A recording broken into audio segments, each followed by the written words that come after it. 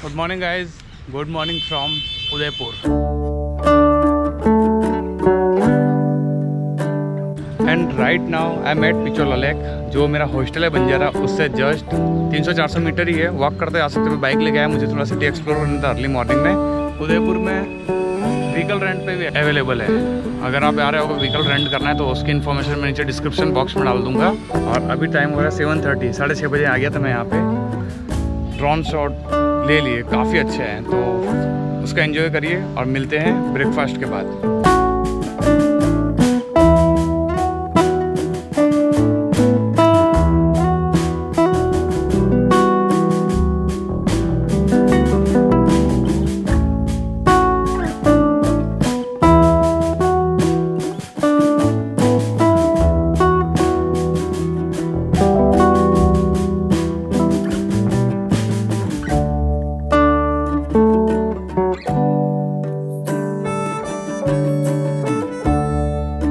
A few moments later. Welcome to the City Palace one of the largest palace in Rajasthan palace में enter होने के लिए charges है three hundred rupees और पंद्रह में जो महाराजा उदय सिंह जी थे, उन्होंने इसकी शुरुआत की थी और आने वाले चार सौ साल, चार सौ सालों में दूसरे राजाओं ने इसको बनाते गए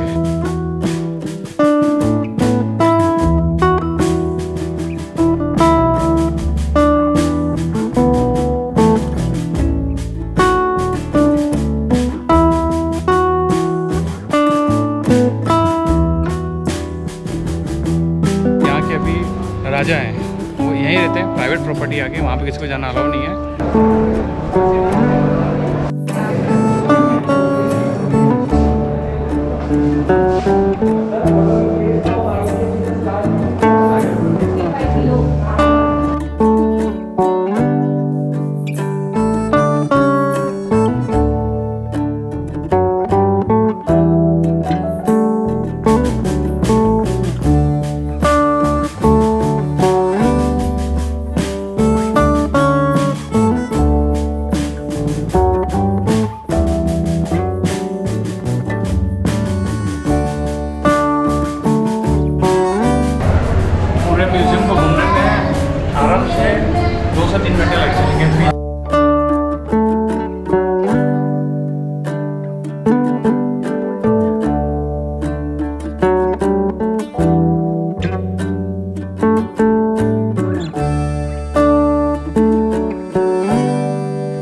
उदयपुर, यहाँ पे दो मेन इंपॉर्टेंट लेक हैं। एक जो मैं मॉर्निंग में गया था पिचोरा लेक सेकंड है मेरे पीछे है फतेह सागर यहाँ पे दो तरह की बोटिंग होती है। एक नॉर्मल बोट एक स्पीड बोट नॉर्मल बोटिंग के चार्ज है एट्टी नाइन रुपीज़ और स्पीड बोट है टू थर्टी नाइन का